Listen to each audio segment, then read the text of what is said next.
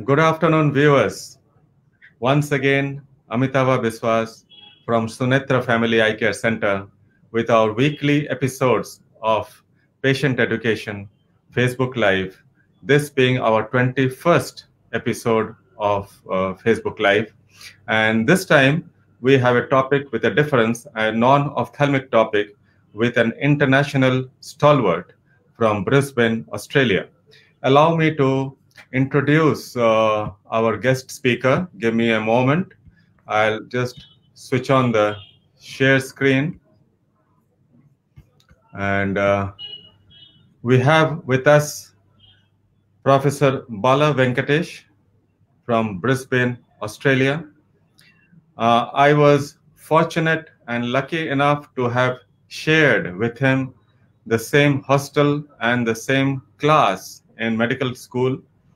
Uh, he he as he did his MBBS as well as the post graduation in internal medicine from Christian Medical College and Hospital Vellore. Uh, he's got a postgraduate qualification in anesthesia and intensive care as well.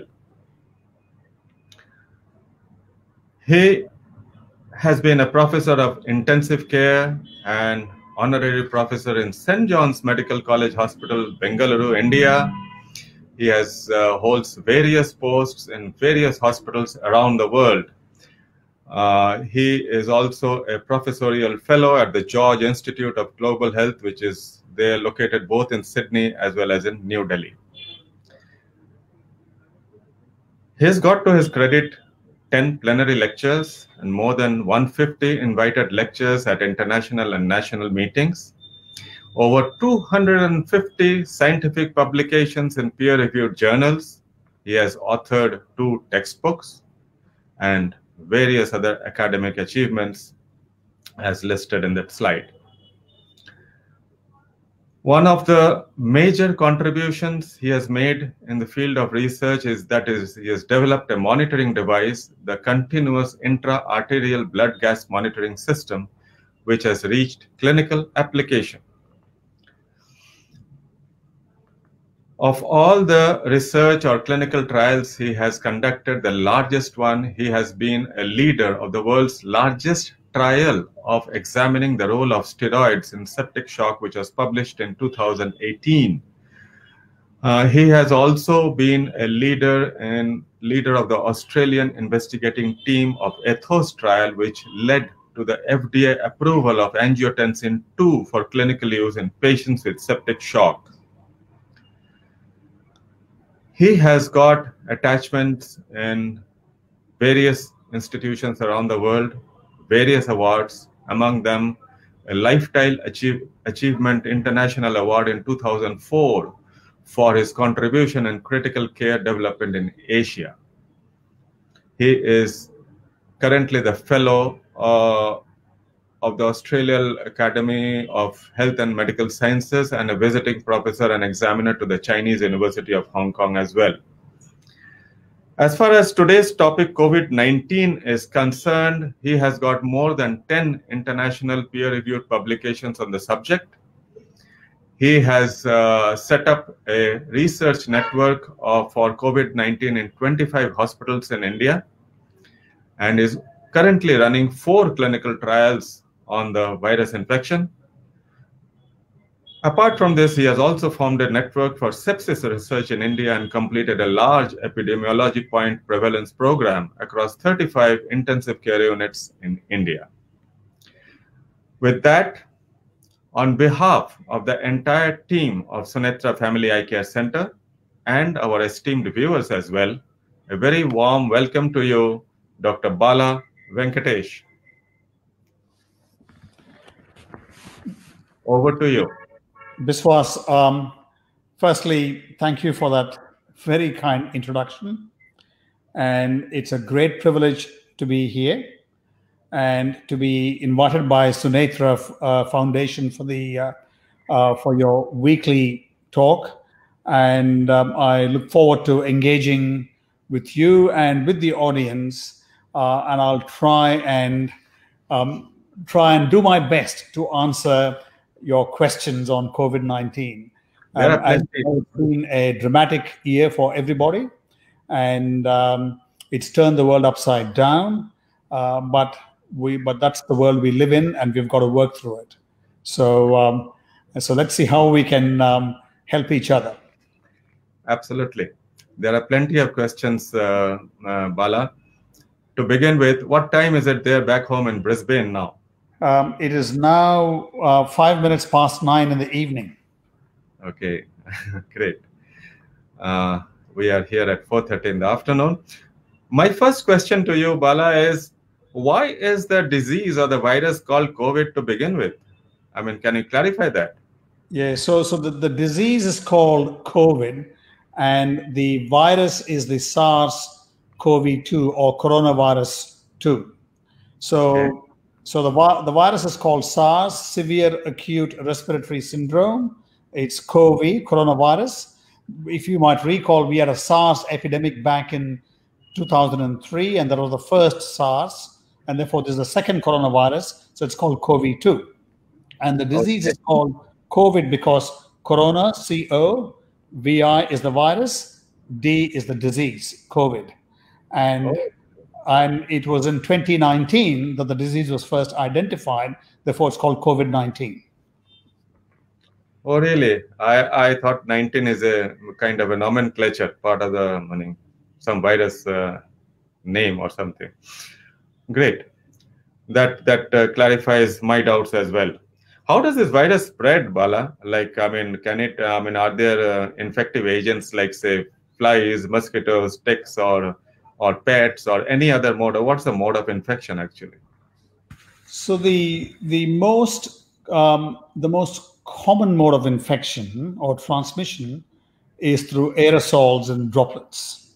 Mhm. So when we it, it affects the the lungs and therefore when we breathe air in and out, um, obviously the air that we breathe out can carry some some small droplets which can contain the virus, or when we cough or when we sneeze, then the same thing can happen. Um, that is the most common.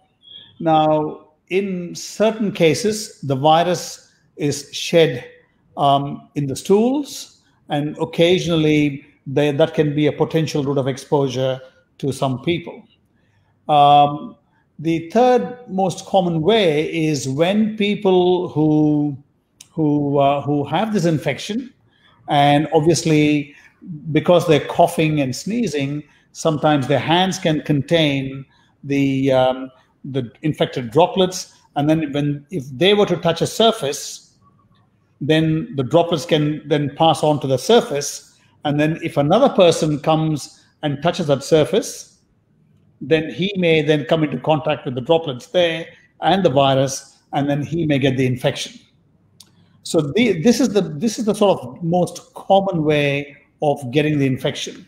Now people have asked the question: Can can mosquitoes and flies and ticks can they all transmit the infection?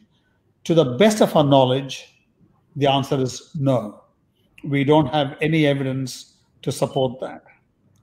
Now, what about pets in the house?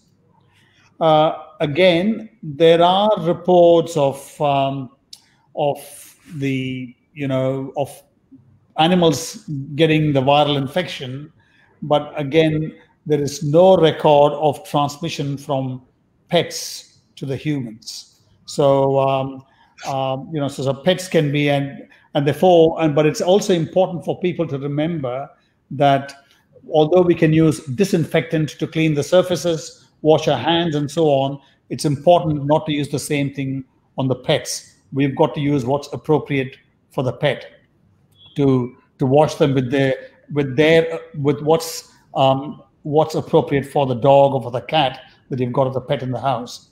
Um, I know in, in the wild, bats carry the virus, and bats have then been able to transmit it to other wild animals. And it's thought that contact with other wild animals must have done the must have been the pathway through which it came into humans. Okay. Okay. So now you mentioned aerosol and droplets. So how far can these droplets or aerosol travel in the air for another person to get infected? That's a great question. Um, now, the the the books and the journals and this is all based on work going back to early 1920s and 30s. They say that it carries for about to one and a half to two meters. hmm The reality is, it depends on a number of things. It depends on how forceful the cough or the sneeze is, number one. It depends on the ventilation in that room. If you've got a strong breeze, then it won't, it could carry far in that particular, in the direction of the breeze. It also depends on the pop, on the, on the number of people in that room, which could, which could impact on your degree of exposure. But generally the the on on average the the the distance people talk about is about one one and a half to two meters. And that's why people advise the social distancing for that particular distance one and a half to two meters. See, uh, to be very honest with you, I wasn't aware of the transmission in stools of infected people. yeah So, can that be a source of infection through, say, flies uh, who sit on stools or any other animals or predators who might uh, feed on that stool? Um, no, again, there, there is no documented um transmission of COVID from through through insects. There's not a recorded case, to the best of my knowledge. Um, and um, and interestingly, um, the the contact again through stools is um, you know if a person accidentally comes into contact with a with an infected patient's stool specimen, then then obviously he has got it on his hands. And if the, if hand washing is not properly done then he's at risk of contact. It's like coming into contact with droplets. Um, the other reason the other way what people do so some of the countries what they're doing is they're they are testing the sewage samples in in various suburbs and if the sewage contains traces of the virus, and the sewage obviously comes through stool and urine specimens. So if, if it contains any traces of the virus, then they know that there is some community transmission happening in that suburb, or somebody is shedding the virus in that suburb. Correct. So, uh, has there been any any conclusion so far, um, uh, or the it's, it's just an ongoing study as of now? It is. It is. So, so I mean, in, in our um, in Australia, there are regular there's regular testing of sewage, and um, and where in suburbs where they detect traces of the virus, then they put that suburb on high alert for for symptoms and testing and contact tracing. Okay, okay. So they have found virus in the sewage at, at, at some places. Oh yes, yes, definitely. Okay. Okay, It that's be a full virus, but it might just be part of the genome. But certainly, it's traceable. Okay. That that's important. That's important from the civics point of view. Uh, say the entire last year almost got wiped got wiped out from from from time in people's lives. I mean, everybody wants to know how long more is this pandemic going to last? What do you think? Look, we would all like it to end tomorrow. But um, again, good question. I don't think there's any clear answer for that. I think there are several steps which we will have to look work through. So uh, the the world population is about seven billion people. Mhm. It is um, the the total number of confirmed cases across the world is about 90 million people. Okay. Um, now that said, there are pro- there's probably um, unidentified rates of infection, and they think somewhere between 200 to 250 million people might be infected across the world. Okay. So there is still a large population potentially at risk. Number one, Mhm. and um, it, we now have the um, so for us to become immune to the infection, we have to achieve what's called herd immunity. Mhm. which is when a substantial proportion of the population gets exposed to the virus, get, they get infected, and they develop immunity, then the viral transmission starts to come down, and the disease then gradually gets eliminated. And for that to happen, you need to have up, to up to 60% of the population being infected. Okay. Now, what's the the we have now got the vaccines coming in.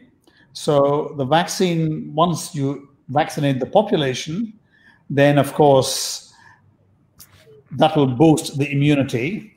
But then we have to we have to have enough vaccine at least for three and a half to four billion people. Hang on, we'll come to the vaccines a little later. Uh, No, no, just- I, I will come. I, I, no, no, I'll, I'll take your question on the vaccines in a moment. But I'm just saying that that is the number you we have got to get to.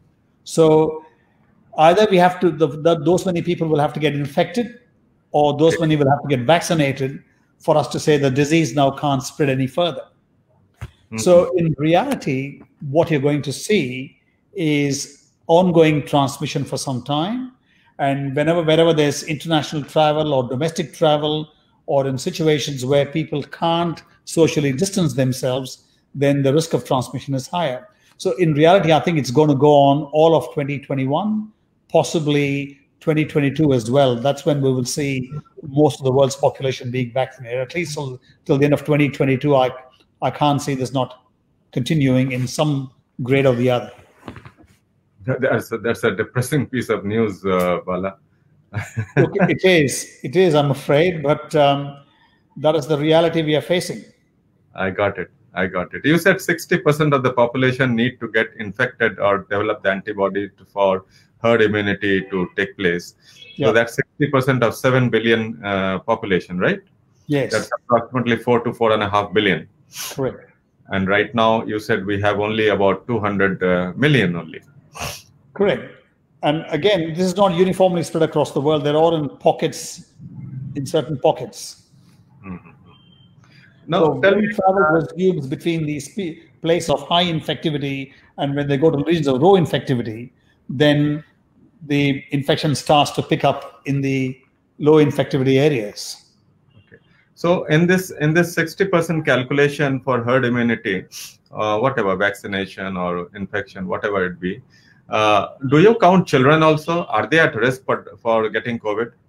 Yep. Look, um, once again, a fantastic question. The answer is uh, well, they are at risk of getting it. They are at a much lower risk of getting it as compared to adults. Um, and when they get the disease infection, they generally do well as compared to adults. Why so? why there, are, why? there are certain groups of children, people, especially the newborns and children less than one year of age, where the infection can be severe. But by and large, children do very well. Why, why so? Why, why do children uh, have a lesser risk and why do they do better than adults? Um, because I think for, for, a, for a start, they, um, they don't have the chronic illnesses that adults have. So, what they have found is that people over the age of 65, or people who have chronic heart disease or lung disease, or people who've got diabetes are at risk of contracting the infection and getting a more severe disease. Mhm. So children usually don't have heart disease or lung disease. Correct. Correct. That's uh, and yeah. and it's and also the the incidence of diabetes is not as high in children as it is in adults and it's particularly the type 2 diabetes which is more common in adults and the other ones who are at higher risk So, so, so talking about children, do they also need to follow all the precautions for prevention as adults have to say, for example, washing hands, wearing a mask, physical distancing, and all that? the the same precautions are recommended for children as they are for adults it is difficult to obviously um, enforce it with children the compliance is more difficult because they are out there playing games with their friends and um, you know or the younger children may not be willing to wear a mask uh, it is more difficult but that's that's the recommended advice So, which means um, uh, opening of schools, public schools, is still a dream then in 2021. um, it's um, it again, it depends on the level of infection in that suburb or in that school or in that community. Mm-hmm. So, if there are suburbs where they've managed to contain the infection rates, mm-hmm. and if they're able to screen students before they come to school and test them if they're all negative when they come in, and if they've got good uh, isolation precautions and uh, contact tracing, if they were to get symptoms and they isolate themselves, then it's possible to open the schools and run them. So, I mean, for example, that's something we have been able to do in Australia. We have schools are back again. Um, we did have a lockdown phase and there was homeschooling last year, but schools are back to being up and running. Since when? Since the the since the last term of last year. So since November last year. That's great. That's very good to know. Very encouraging. Yes. Uh, although we didn't have such a high infection rate as other countries. Okay. Okay. So I was actually going to ask you that uh, at least in India, there seems to be a downward trend of uh, rise of cases of, of late. Yeah. That's what the reports say. Yeah. yeah. So if you say that the pandemic is going to last through 2021 and maybe early 2022 again, that means we should not uh, make any relaxations in the preventive measures that we follow uh, we're supposed to follow in our lifestyle, right? No, so that's that's exactly right. So I I will not advise any letting down of the guard when it comes to all the preventive measures. Um, we have to keep in mind. I mean, I think the first thing to say is that um, you know it's it's great to see the declining number of infections in India, but also one note of caution that the the the number of cases that you identify depends on the number of tests that you do. Mm-hmm. So the testing rates per million population in India is not the same as or not as high as what have what is there in other countries. Uh, yes, I got your point. I got your so, point. So yes, we India is identifying fewer infections as compared to September last year. I mean, they were having about 75, 80,000 infections a day, and now it's down to 15 to 20,000 infections a day. So yes, it is come down, and uh, but I think uh, we just have to be careful that we don't let the guard down. Um, it's winter, so the risk of transmission is higher in the winter season, and mm-hmm. it's going to be cold for some more time in India, and mm-hmm. uh, and people should observe the hand washing, social distancing, mask wearing, and all the other precautions. So I have two points from what you said just now. Uh, one is you mentioned about winter, the chances of infection spread being higher. Yeah. So what has uh, spread of COVID infection got to do with the weather? Like, I mean, uh, is, is is warm weather going to bring down the infectivity rate?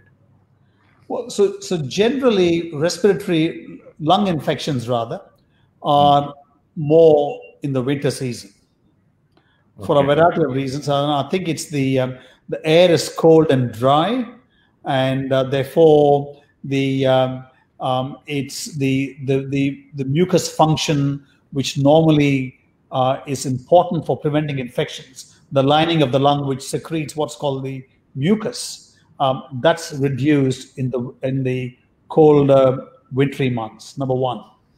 Second thing is when it's winter, we all don't go outside. We keep ourselves indoors and shut all the doors, and therefore the ventilation is reduced. And so the potential for exposure between members of a family is high when you when everything is shut. So I think for these reasons, the um, the risk of infections is higher, and um, uh, and we also have to keep in mind that in India, particularly during the winter months, there are a lot of festivals. Mm-hmm. And so people get together. And again, the risk of uh, transmission during these festivals, when you meet people and when social distancing may reduce, then the risk of infection goes up. Okay. I got it. The other point that I wanted to ask you is uh, this over the last one year, nearly one year now, the general feeling among people in India, in my city, in our city, Calcutta, that I see outside is that people seem to have lost uh, lost their patience with uh, following all these precautions. So there are more number of people not wearing masks. There are more people going out to public places and malls, shopping malls, and say shows, movie theaters, and Mm. eateries, restaurants. So, meaning uh, obviously this adds to the added risk of spread of infection, right? You Yes. said that we not lower our guard as yet. Yes. Even even at our even at our eye care center, uh, Bala, sorry, sorry to interrupt. Even at our eye care center, we follow very stringent rules of uh, sanitization, disinfection, screening at the main entrance, and even inside. Uh, quite a few patients these days have expressed their uh, expressed their dissatisfaction or their annoyance with having to follow so much of uh, precautions. But we, we we tell them that COVID is still there, so you, we got to follow. What do you say? I um, I I agree with you hundred percent that um, um, you know I think that we have to keep reminding people that the disease, the battle still has to be won. The disease is still rampant, and we have to be on guard all the time. And we are going to have to be on guard for the foreseeable future. Um, Okay. Yes, the, these measures are difficult. They are exhausting. They're both physically and mentally exhausting, and no one is, um, uh, you know, no one is minimizing the severity of these things. They are painful. They are difficult, but we have no other choice. I agree Um, with you. Till at least till the vaccine comes in, when we can at least be a bit more confident. Till then, we have to follow all these measures. Perhaps even after the vaccine comes in, but certainly till the vaccine comes in, we've got to be very, very strict. Among the three main preventive measures in the lifestyle that uh, you mentioned, that we all know, one is the so-called uh, physical distancing, one is wearing masks, and the third is washing of hands. Yeah. Would you say that all these three are equally important, or one is more important than the other?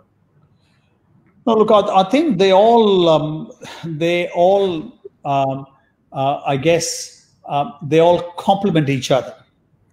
Uh, they are not a substitute. It's not doing one more than the other is a substitute. It doesn't work that way. So, um, um, so f- it's a. Um, I mean, for example, the uh, hand washing is really in the unlikely event that you come into contact with a droplet, infected droplet somewhere Mhm. uh, and that's why we're doing that. So mask wear, even if you even if you wore a mask faithfully, that will not minimize the risk of you. If you don't hand wash, you can still get it. Got it. And and the same with uh, when you wear a mask, and same with social distancing. Obviously, when you maintain the distance, then the risk of you being exposed to the droplet is reduced. But if you wear a mask on top of that, it provides additional benefit. Mhm. So mask wearing gives you um, a 15 to 20 percent protection. For the benefit of our patients and other viewers, can you, in brief, tell us that what is the best type of mask that a common man can wear for for for satisfactory protection? Look, there are, there are several ones available in the market, but most people are actually um, they're both disposable and reusable ones. Uh, the reusable ones where you can wash them and wear them, and they are as effective. So you can um, you know you can fashion. A number of people have fashioned their own masks at home from from old clothes, and um, you can just get a piece of uh, a, a piece of cotton and attach four straps to it, and you, you and you can wear that as a mask, and you can wash them uh, in warm water or soap water every day and reuse them. So um, uh, I I I think the main thing is um, having the barrier number one, and obviously it's uncomfortable and uh, but at the very least it reminds you having a mask apart from being a physical protective barrier also mentally reminds you that you've got to be careful maintain your distance and uh, observe the precautions as often and as much as possible So, so from what I understood is that the main purpose of wearing a mask is to shield the aerosol aerosol uh, this thing spread. right? Yes. So from the person who's wearing the mask to outside, or is it from outside to the person? It, it provides it's bo- both ways. Both ways. Okay. Yeah. So it, it may not be absolutely essential to wear a three ply mask all the time, is it? No, no, you don't need to wear it. I mean, look, if you have access to it, it's fine, but it's not. Um, I mean, even the surgical masks and so on, they Yeah, I'm talking about the surgical mask. Yes. A- So after a while, they, I mean, if you worn them the whole day, I mean, e- even after a little while in theaters, they lose their efficacy anyway. Correct. So, Correct. you- so that's well known. Um, so, but it's it's just I think it, it it works more as a physical barrier. So that if you've got a big cough, you don't splutter into the environment. And the same thing happens if somebody else coughs, you don't inhale because you've got a mask which is protecting you. Mhm.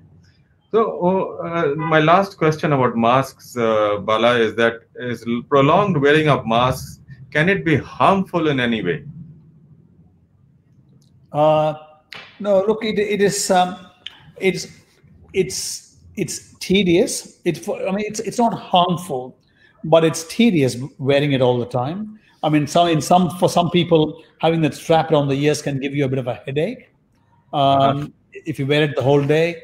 Uh, some people, when they wear it during exercise, they could find it hard to breathe and they could get fatigued easily.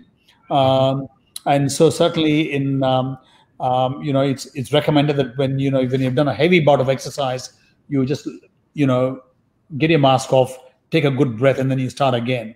Don't keep the wearing the mask whilst you're doing very heavy exercise. So um, um, yeah, so so that's that's the sort of uh, general thing, but there's no long-term harmful effects from from wearing a mask. Um, we know surgeons wear them for hours on a day when they do long surgeries, and there are no consequences from that. Talking about this exercising, uh, it is very difficult wearing a mask during doing exercising. But does exercise does exercise actually add to the preventive uh, preventive factor or prevent prevention of spread of disease by by way of uh, improving the immunity of the person? Well, uh, look, again, I, I mean, in general terms, exercise is very beneficial. It has lots of beneficial effects on on multiple parts of your body, and one of them is immune boosting. And so, the fitter you are, it's very likely that you've got better lung function, and therefore you are more likely to um, to um, to manage a COVID infection than if you've got impaired lung function. Uh, but that said, um, uh, there are, to my knowledge, there are no clear data about the intensity of exercise and susceptibility or recovery from COVID. Okay, there's no data. Um, uh, look, I, I will need to verify that, but as far as I know, I've, I've, I've not seen any information to that effect. Uh, I mean, in your country, uh, are the gyms open? Are people going to the gyms? Yes. So under certain very strict conditions, um, there's got to be a four square meter um, rule. So um, so if the entire gym is 100 square meters, four square meters per person. So the entire gym is say um, 200 square meters. That means only 50 people can go into the gym. So it's got to be four square meter area per person, and um, and then obviously there's got to be strict mask wearing, and you've got to disinfect each piece of equipment that you use after you've used it before you go to the next uh, machine to exercise, um, and you're not allowed to be there for more than 30 minutes in the gym. in the gym. Oh, I see. I see. I don't think in India um, uh, gyms are following that uh, so much of uh, precautionary measures. Anyway, that's a good point taken. How important is nutrition or diet or uh, eating schedules, protein versus carbs in improving immunity? Look, in in general, um, obviously, you know, you have to have a a, um, a healthy diet and good nutrition to maintain your body's immunity.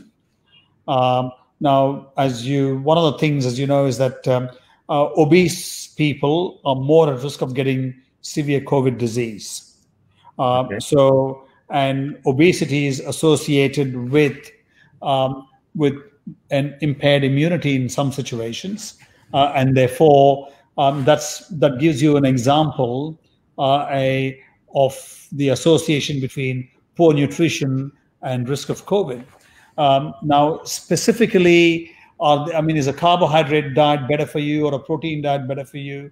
Um, again, I'm not aware of any data. There's been a lot of reports in the literature of uh, you know people taking vitamin C and vitamin D and zinc. Um, again, the evidence is not conclusive. Um, um, people have talked about vitamin D deficiency being um, uh, increasing the risk of COVID 19. And uh, um, uh, again, vitamin D deficiency has been reported to be associated with number of diseases, not just COVID. And therefore, I don't think, and, and supplementation vitamin D has not been shown to be of any benefit apart from improving your bone strength. There is no beneficial effect of vitamin D in a number of other diseases where they think there's a problem association between vitamin D deficiency and the disease. So um, the short answer is just your normal healthy diet is all that's required. No special diets. These days, the net and social media such as Twitter, Facebook are full of ads for for uh, in, uh, what is that called? Uh, what uh, uh, intermittent fasting intermittent yes. fasting. Uh, it is said that uh, intermittent fasting of 16 hours with a 8 hours eating window uh, adds to the immunity of the body. Is that true? Would you agree with that? Look, um, so um, there have been studies. Um, the, the, the, the classic example is the fasting during Ramadan, which ah. the, um, the, the Muslims do. As you know, they do not eat between sunrise and sunset. Correct. So when they've done studies during the months of Ramadan on um, on the on the on the on the people who observe these fasting rules, and they've shown improved um, uh, heart function, improved immunity, improved sugar control. Generally, the body's metabolism improves when you fast um, along those lines. Now, does it specifically work for COVID? I'm not sure. I I don't believe there's any data to support that. Got it. So there is some benefit, benefits of that intermittent fasting, perhaps, but may not yes. be specific for COVID. Yes. See, another thing that we see nowadays is that uh, many people uh, are almost, uh, what shall I say, they, they they, have a tick of uh, you know spraying alcohol spray over every mail package product from it is vegetables they buy any packeted food they buy everything has to be cleaned sprayed and then taken home and then taken inside home or opened i mean is it taking the thing too far or is it actually relevant this kind of uh, cleaning I, I uh, again look. It's it's a great question. So the, there is certainly evidence to show that the virus can survive on plastic surfaces for some hours, on steel surfaces, on wood and on some cardboard surfaces. So it can survive for a few hours. It's variable, and hmm. so what you do not know is where the package is coming from, or you might know where it's coming from but how it's been handled.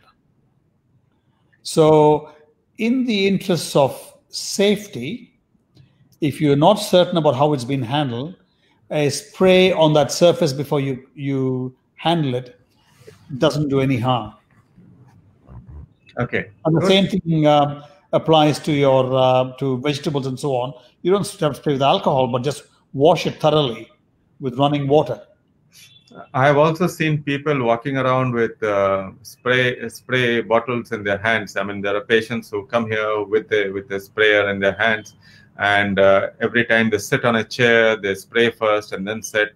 I've seen people carry, carrying around such sprays and going to restaurants. Is that is that uh, is that okay? Is that good? Is that a good habit? I mean, it certainly can't do any harm. Okay. It's, it's, it's certainly yes, uh, and I think I think being extra careful is good. Okay. Good, good, good.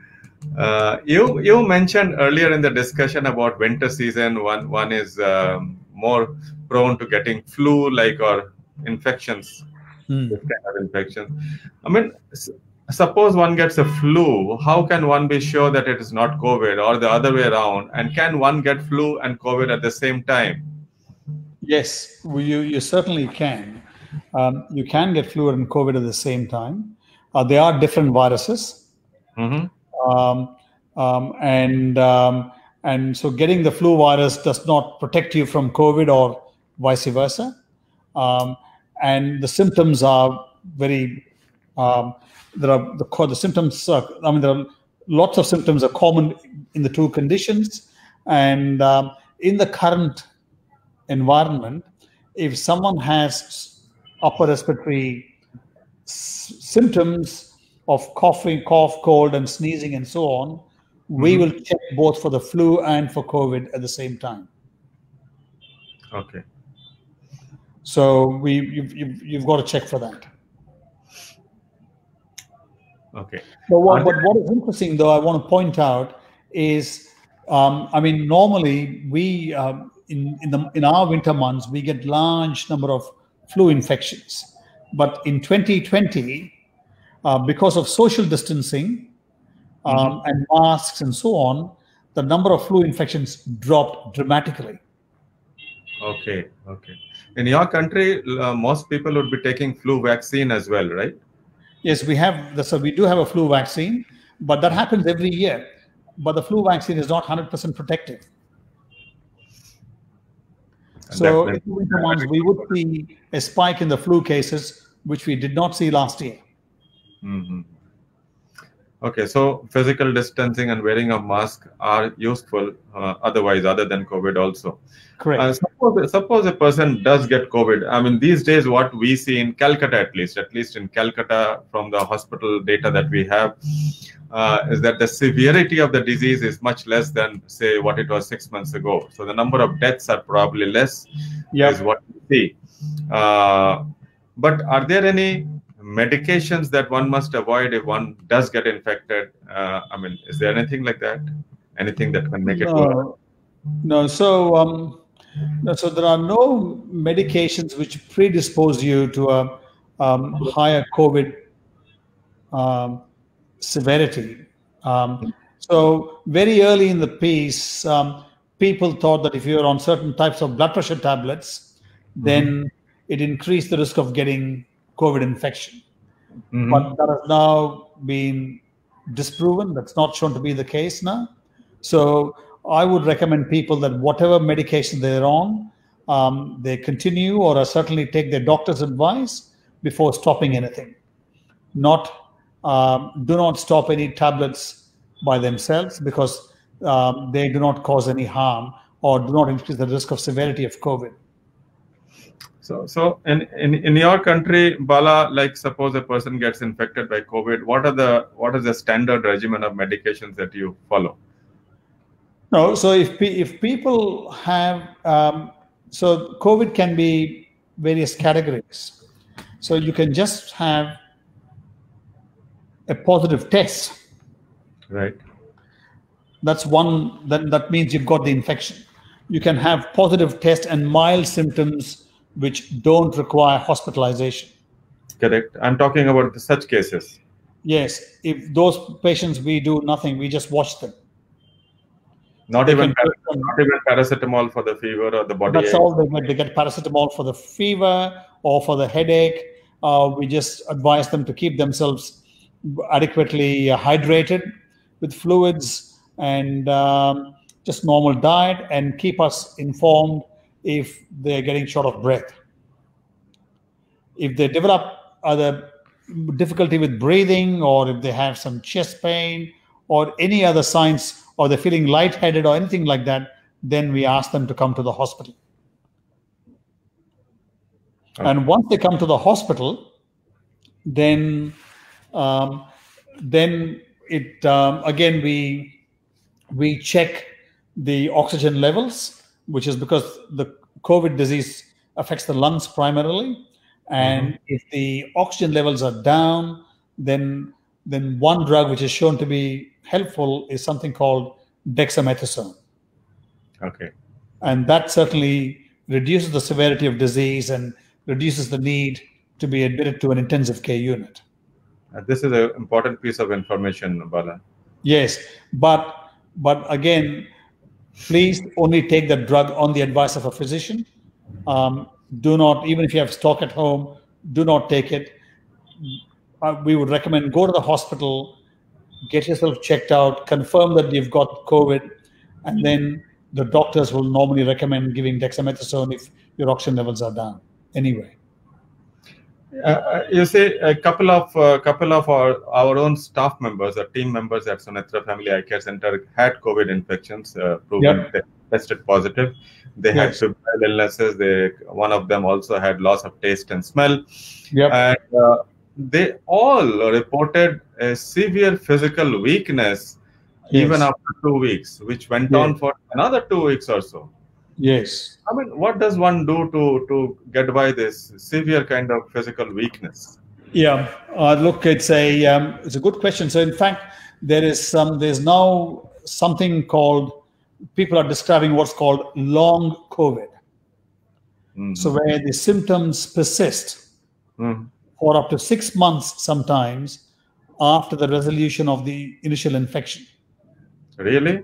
Six yes, so months? people um, experience fatigue, um, um, generally being unwell, reduced appetite. Um, they have no, um, you know, it's like a, um, um, a, you know, a major stress syndrome that they've had, um, and um, and there's no specific medication for that. You've just got to wait um, to ride it out and um, just have supportive treatment like physio and um, um, occupational therapy and so on. Okay. Okay. It's called long COVID. Long COVID. Okay. I, I'm, I'm coming across this term for the first time, Bala. Thanks for my education. I, this is something I learned today. See, we have had a very rich discussion so far on various aspects of COVID, and uh, let us come to the last and the concluding part, which is the perhaps the, the most important part about the vaccination. Yeah. Now that vaccination seems to be uh, there within the horizon. Tell us Yeah. something about these vaccines. How I mean, what, what is your take on that, and uh, which one is good, which one is better, why? So, um, so the, the so there are more than um, hundred candidates which are being tested as potential vaccines all over the world. hmm Um, and um, of those, um, um, three have, um, there's what's called the Pfizer vaccine, which has made a lot of international news, hmm made by Pfizer. There's also what's called the Moderna vaccine, which is made by, um, sponsored as Moderna. And then there's what's called the AstraZeneca vaccine, which is with collaboration with the University of Oxford in the UK. Okay. So these three have done what's called the phase three trials, and they have reported their results. Okay. The um, the Pfizer vaccine and the Moderna vaccine, they say it's about 90 to 95 percent effective. The uh, Oxford vaccine is about 65 to 70 percent effective. Okay. So um, now there are other vaccines. There's a vaccine from China. hmm There's a vaccine from the Middle East. India is developing its own vaccine. Um, and there's a vaccine in South America which is being tried. There are lots of vaccines there. Um, but only these three are now on the international market and are being distributed world over. Uh, the Chinese vaccine as well is being done.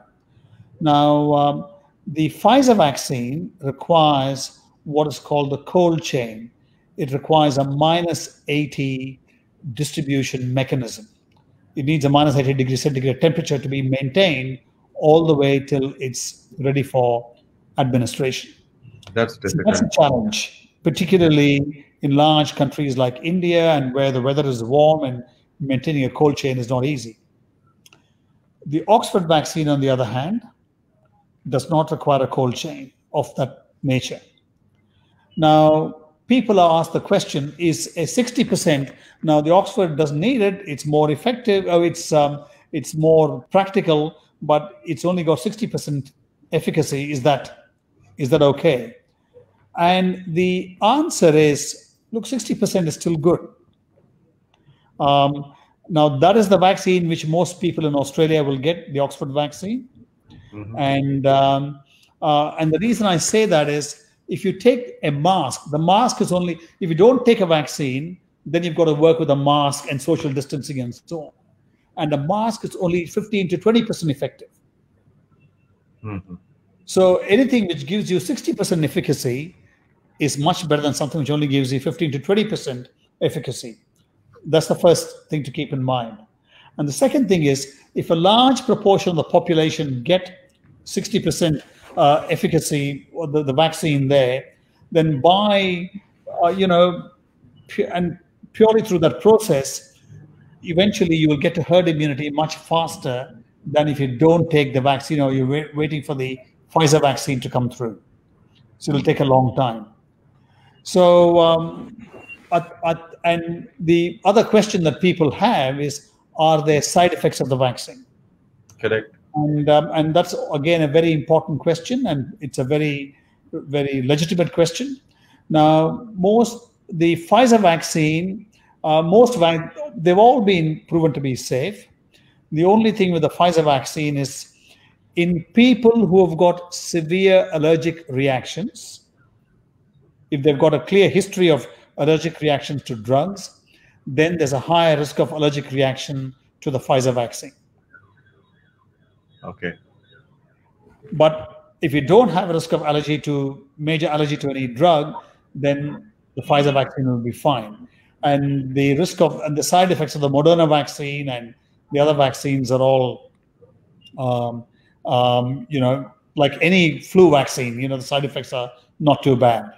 Um, and um, you standard, you know, you get aches and pains and a bit of fever for a day.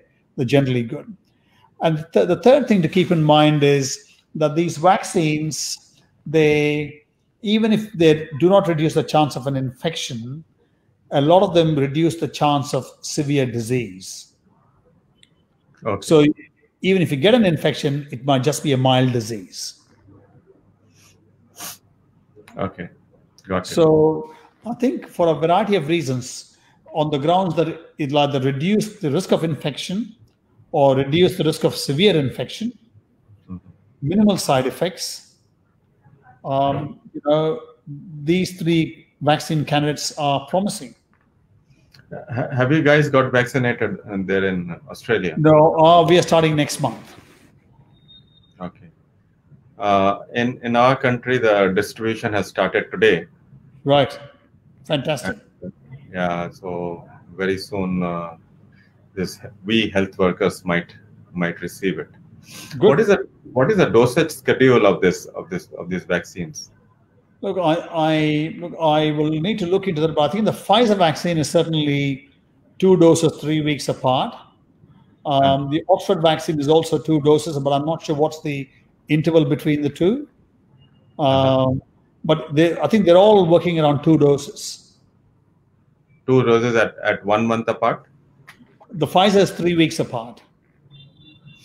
Okay, I heard uh, there is some vaccine which is 12 weeks apart. Which is that? Look, I, Biswas, I, I'm sorry, I don't know the answer to that. I, I don't know which one that is. One of one of our classmates posted in our group. Uh, right.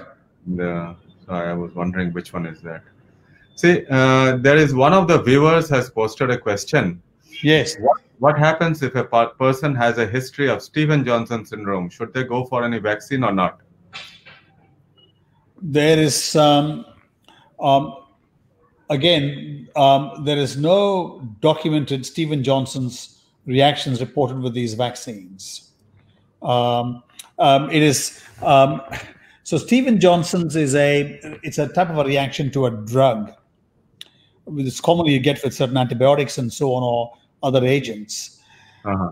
Um, and um, again, the the um, is there a risk of um, um, severe allergic reactions to the Pfizer vaccine? If you have Steven Johnson's, I'm not. I don't think there's enough data on that one.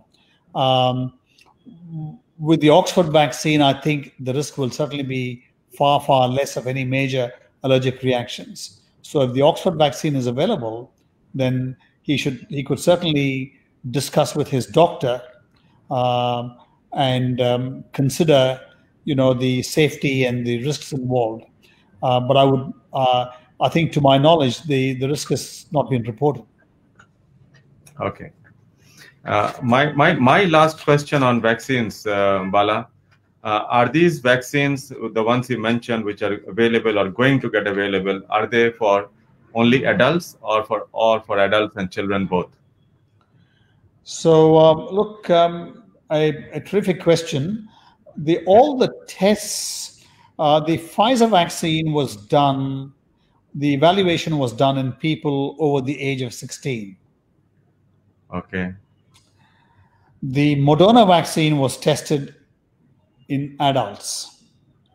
Mm-hmm. And I think the Oxford vaccine was also tested in adults. Mm-hmm. Um, I could stand corrected with that one, but I, I think that's also in adults. So, um, so a, certainly children, there's a talk about children over the age of 12 should be considered. Um, but at this stage, um, there is, um, you know, as far as I know, there are no published data on on the protection in children or the safety in children. Okay, so which means uh, people below the age of 20, 21 need not get vaccinated right away. Oh no, I think uh, certainly. I mean, uh, certainly there's data over the age of 16. So you know, anyone over the age of 16 can get if there's an opportunity to get vaccinated, they should get vaccinated. Mm-hmm. Great. There's a there's a comment from uh, Dr. Premal Das who thanks you and he's written thanks, Professor. Right. Okay. we also have another of our classmates, uh, Sujata Charles, uh, uh, listening to the show. Right. And you have actually clarified a lot of uh, cobwebs and gray areas about this on this subject.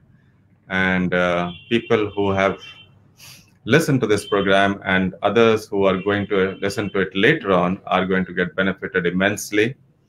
I must thank you uh, on behalf of our center for accepting the invitation and illuminating us. If there's anything else you would like to say in conclusion, then we will, with your parting words of conclusion, we'll probably end the show for today. Biswas, thank you. Firstly, it's been a great honor and a privilege to have um, interacted with you and with Sunetra and with all the um, members of the public.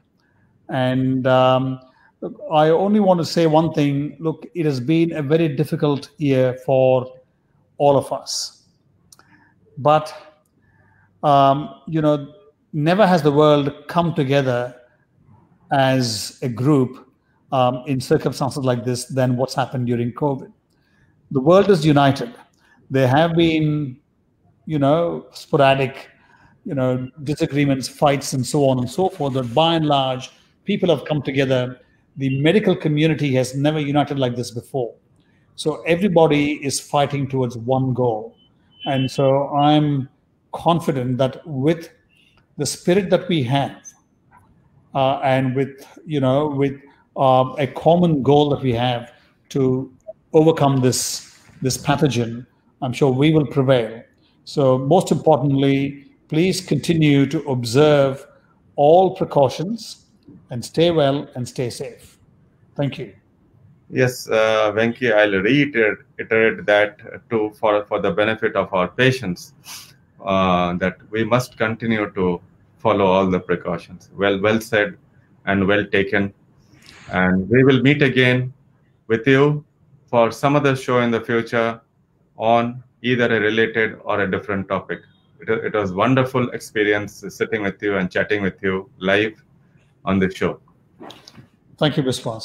And thank you all for joining in. My best wishes and regards to you, to your family, and have a good good night. And uh, we'll we'll end the show here. Thank you once again. Thank you. Good night. Okay. Good night.